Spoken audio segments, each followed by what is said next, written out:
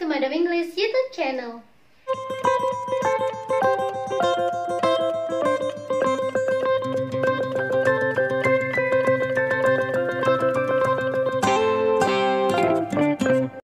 Hari ini kita akan pelajari cara kita memberi atau menawarkan bantuan kepada orang lain atau yang biasa disebut dengan asking for help and offering help.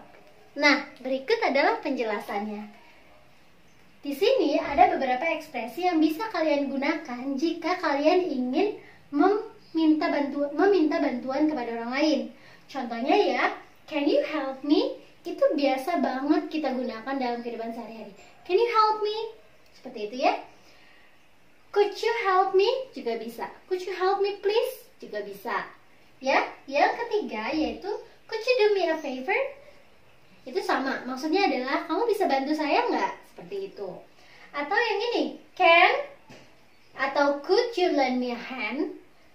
Can you lend me a hand? Atau could you lend me a hand? Itu juga boleh itu bukan maksudnya minjemin tangan, dikasihin tangan kita, bukan ya. Jadi maksudnya adalah Can you lend me a hand? Itu dapatkah kamu membantu saya? Atau could you lend me a hand? Itu dapatkah kamu membantu saya?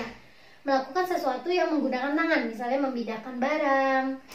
Misalnya seperti itu ya, mengangkat buku, seperti itu.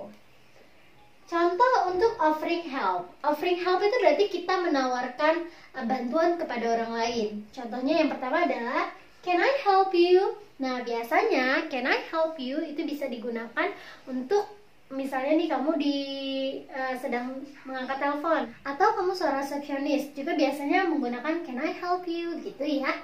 Nah, untuk yang lebih formal atau yang lebih sopannya lah ya, yang lebih polite-nya itu menggunakan kata may.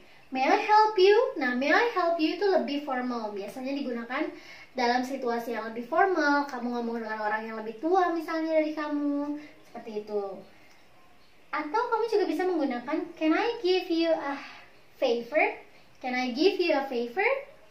Um, bolehkah saya membantumu? Seperti itu. Jadi bedanya asking for and offering help itu adalah kalau asking for berarti kita yang minta orang lain untuk membantu kita. Kita minta tolong gitu. Tapi kalau kita offering help itu berarti kita menawarkan pertolongan kepada orang lain. Cukup simpel kan? Yuk, coba kita bikin kalimat uh, menggunakan can you help me misalnya. Can you help me bring these books? Atau can you help me show the direction? Can you help me turn on the TV please? Juga boleh. Could you help me? Could you help me explain this lesson, miss? Misalnya seperti itu. Could you do me a favor? Could you do me a favor with this? Could you do me a favor, please? Gak boleh. Can you lend me a hand? Can you lend me a hand moving this chair? Misalnya seperti itu. Nah, selanjutnya kita yang nawarin bantuan kepada orang lain. Can I help you, miss? Sir? Can I help you with your bag? Can you help Can I help you with your luggage? Can I help you with your um, code mungkin. Nah, may I help you? May I help you, sir? May I help you, miss? Tuh. Can I give you a favor? Can I give you a favor with something? Can I give you a favor with this uh, machine? Can I give you a favor with something? Gitu. Jadi kamu bisa menawarkan bantuan menggunakan bahasa Inggris dengan kalimat-kalimat yang ada di sini. Gimana? Cukup mudah kan? Nah, sekarang kita akan melihat contoh dalam kehidupan sehari-hari. Nah, contohnya seperti apa? Diperhatikan baik-baik ya. Help. Created by Madam English YouTube channel. Freya, will you join the New Year celebration at friend's house? I don't know, Emery. I have a lot of works to do. Are you working at the end of the year? Come on. Yes, I still have some reports to do. Well, can I give you a hand? Are you serious? Yes, I'm free at that time. After we finish them, we can come to friend's home. Oh, thank you so much. Anytime. Hi, Emery. Where are you going tomorrow? Oh, tomorrow I'm going to help my parents cleaning the swimming pool. We will celebrate the New Year Eve with my extended family. How about you? Do you have a plan tomorrow? No, I don't have any plan. Can I just help you? Sure, if you don't mind. Okay. I will come to your house at 9 in the morning. See you. Thanks, Jess. Can I help you, sir? Yes, please. I would like to order a hamburger. Okay. Would you like to order some drink? Sure. A cola, please. Is there anything else? No, thanks. Well, please wait for a while. I'll prepare your order. Excuse me, sir. May I ask you something? Sure. What can I do for you, miss? Well, I'm going to meet Mr. Ferrand in Jasmine Room, but I don't know where it is. Oh, Jasmine room is on the seventh floor. Please take this elevator. It is in front of Rose room in the seventh floor. Thank you for your help, sir. My pleasure. Hi, Dad. Have you had your dinner? No, I haven't. All right, I will cook for you. Please wait a minute. Thanks, Jess. Can you do me a favor before you cook the meal? Sure. What is it? Can you please turn on the hot water? Oh, okay. Thanks, honey.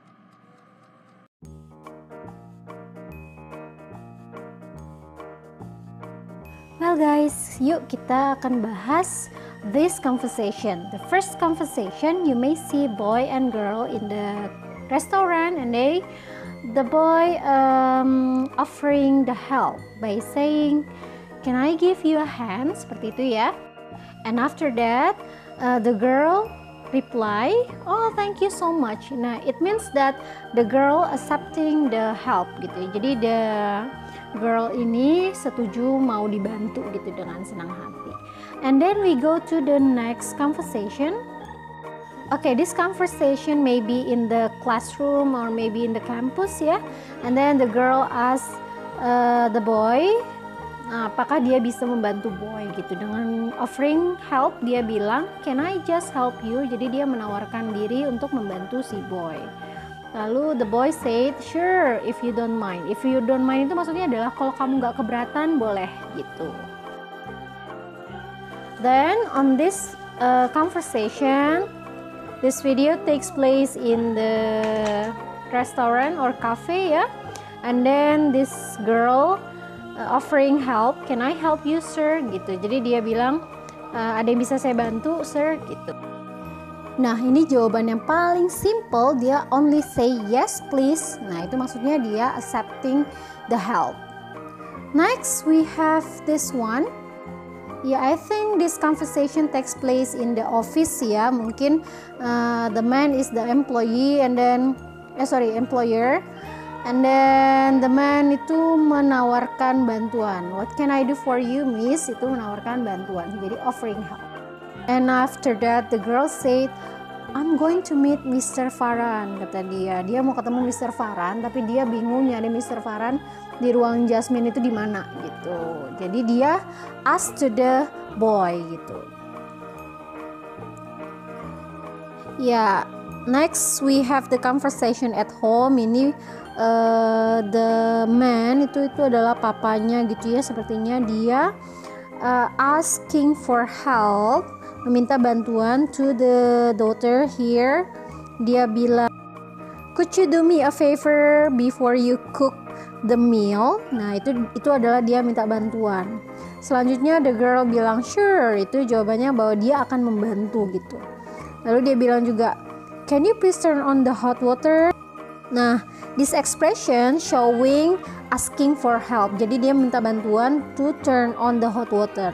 And then the girl says, "Oh, okay." gitu. Berarti dia agree. Well, that's all about the video. So I hope you understand about the lesson on this video, okay? Gimana? Sudah cukup paham cara asking for and giving help? Asking for and offering help?